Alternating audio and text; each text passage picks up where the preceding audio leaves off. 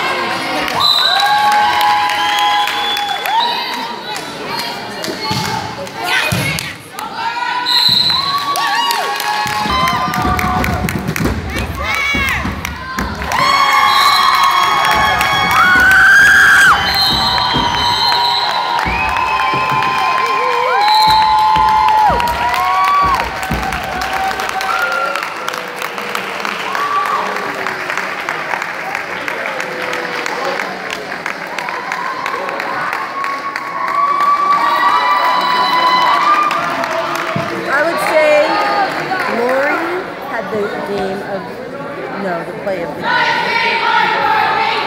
Who would you say had the play of the game? Hallelujah.